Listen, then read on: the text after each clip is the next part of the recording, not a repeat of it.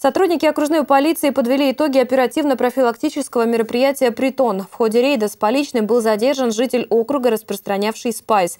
Экспертиза уже подтвердила, что данное вещество относится к синтетическим наркотикам. Всего у подозреваемого обнаружили четыре конверта с этим веществом. Сейчас проводится проверка, по результатам которой будет возбуждено уголовное дело. Подозреваемый на это время заключен под стражу.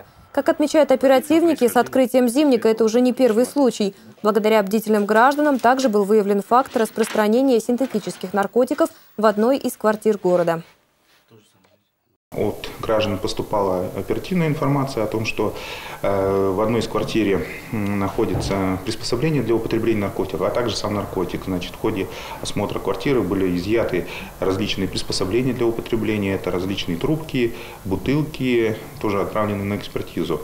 И также вещество растительного происхождения, так называемый этот спайс. Э, на данный момент тоже проводится проверка. Лица будут привлечены как к уголовной ответственности, так и, так и к административной за потребление наркотиков.